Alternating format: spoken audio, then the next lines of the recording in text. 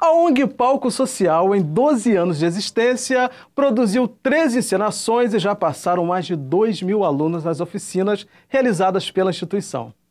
Como surgiu essa ideia de montar essas oficinas? Como é que pintou tudo isso? Nossa, começou muito tempo atrás, há 12 anos. Eu dava aula lá no Cândido Mendes e eu estava doido para trabalhar com autor contemporâneo.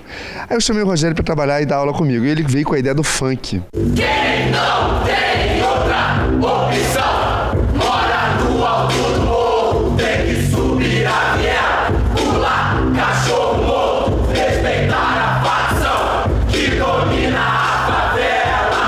Quando ele veio com a ideia do funk, a gente começou, que era uma, uma oficina particular, as pessoas pagavam, o boy, o flanelinha, as pessoas começaram a se interessar, porque nós levávamos pessoas para debater lá com a galera sobre o funk, o que, que era, desde o DJ Malboro até movimentos e tal.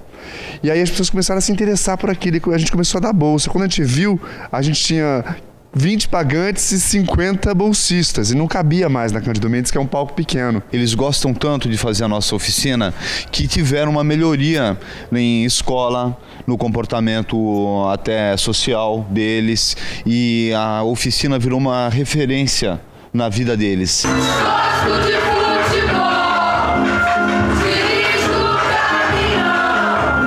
Coisa que também é um orgulho pra gente, assim, uma atriz nossa que tá, mora em Bangu, trabalha num laboratório, ganhou o prêmio Mambembes, melhor atriz, é, por causa do trabalho das oficinas.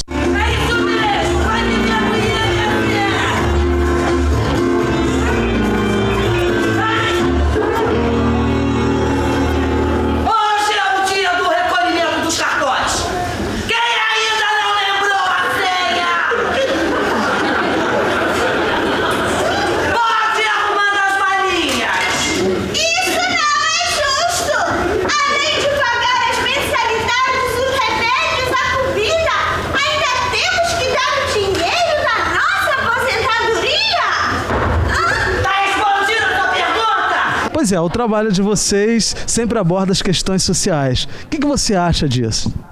Eu acho isso muito interessante porque é de uma maneira assim é, alegre. Nessa nossa peça, é, ela enfoca bem todos os preconceitos pelo menos os principais na sociedade brasileira. E é feito de uma maneira assim lúdica.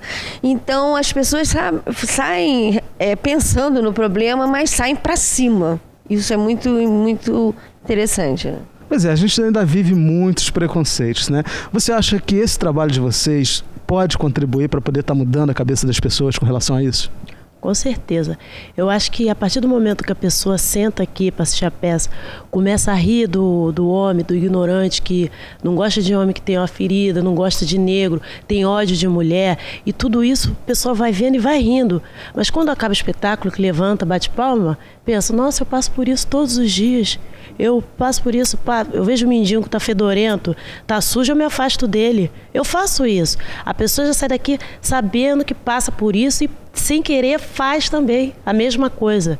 Por isso que é bom abordar esses assuntos sociais, que é o nosso dia a dia, é o cotidiano. É mais gratificante estar fazendo um trabalho assim, com bastante atitude, como é esse, e que tem uma proposta social, uma proposta de estar levando uma mensagem de transformação para as pessoas. É mais interessante fazer um espetáculo assim? Eu sempre coloco nos meus trabalhos uma proposta social, uma, uma proposta humana, existencial, espiritual, tudo que eu puder botar de tempero eu boto. Ah, aqui é muito mais é, destacado esse lado, né? É, os personagens são personagens que a gente encontra no dia a dia, na rua, as reivindicações deles. Essa é uma proposta do Rogério, do Neco, da ONG Palco Social. Todo mundo vem aqui para questionar, para discutir os problemas que a gente vive no cotidiano. Eu acho que o teatro é um veículo apropriadíssimo para a gente discutir com a plateia, com a sociedade aquilo que nos incomoda ou aquilo que a gente deve melhorar, ou aquilo que a gente deve propor para a vida da gente. espero que a gente melhore em relação à política, em relação à saúde, o atendimento à população.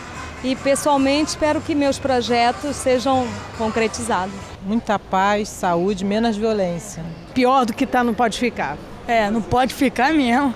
Não concordo com ela. Seja um ano de vitória, conquista e que emprego aumente. Ano de prosperidade. Concertos e partituras dão a meninos e meninas uma nova perspectiva de vida através da música. Vila Lobinhos, um projeto de profissionalização e inclusão social da ONG Viva Rio. O projeto Vila Lobinhos começou com uma ideia é, em agosto de 99, onde um empresário carioca fez uma doação à ONG Viva Rio e ele solicitou que fosse feito trabalhos com jovens instrumentistas. São jovens que querem ser profissionais da música, mas que não têm um recurso financeiro para arcar com essa educação. Então, na verdade, esse menino já tem que saber tocar alguma coisa quando ele chega aqui. Sim, é, eles aprendem em um, um projeto social. É, ou aprendeu sozinho, uma flauta doce, que é um instrumento muito fácil de musicalizar, ele aprende algumas notinhas na escola, o cavaquinho que está presente na comunidade o tempo inteiro, o violão, o pandeiro, a percussão de modo geral, por causa da, das escolas de samba. E então ele vem para cá com, já com uma bagagem musical.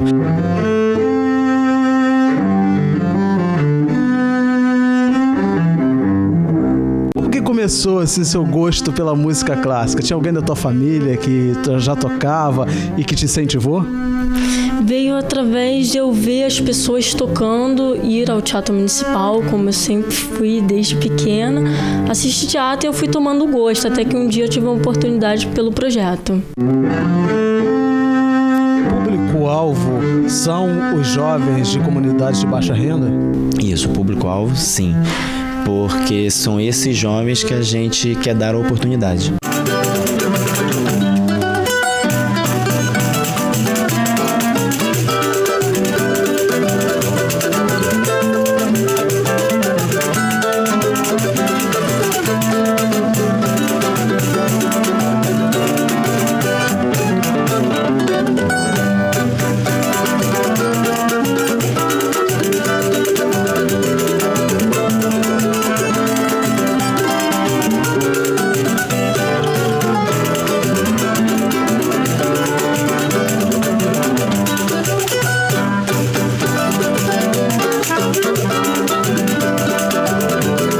Começou com quando a gente foi selecionado para participar de um curso de férias lá no Museu Vila Lobos.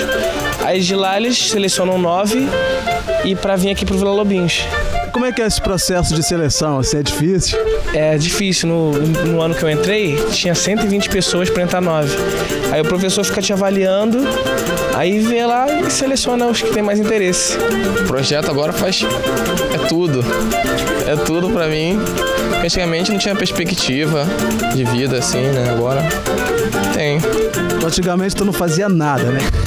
Fiquei com vergonha de falar, mas é isso mesmo. Fazia nada, agora eu venho pra cá, passo a maior parte do meu tempo aqui estudando. Estudo, estudo no colégio, estudo aqui, só estudando por enquanto. Antes eu achava um sonho impossível tentar entrar na faculdade, achar um futuro na música. Só que depois de conhecer esse pessoal aqui, o Ramon, o Henrique, o pessoal, eu vi que é um sonho bem próximo e vou conseguir, com certeza. Depois que eu entrei no Vila Lubins, que começou a pintar cursinho. Ah, vai tocar ali na escola, particular, pública ali, você vai, aí vai ganhando seu dinheirinho. Fora isso, não, o interesse não é pela, nem pelo dinheiro, mas sim, conforme você vai tocando, você vai se adquirindo com o pessoal, vai pegando a agilidade com ele e vai embora. Expectativa para 2006 que tenha muito contrato de mergulho lá na Bacia de Campo que regulamente nossa profissão, que até hoje nada. A nossa esperança é que tenhamos uma administração humana com valores nacionais. Dinheiro. Que 2006 seja repleto de realizações e justiça social. Feliz ano novo e muita paz. Será que segue firme forte na luta? Aonde os caminhos da vida vão te levar? Se você aguenta ou não, o que será? Será? Esse caô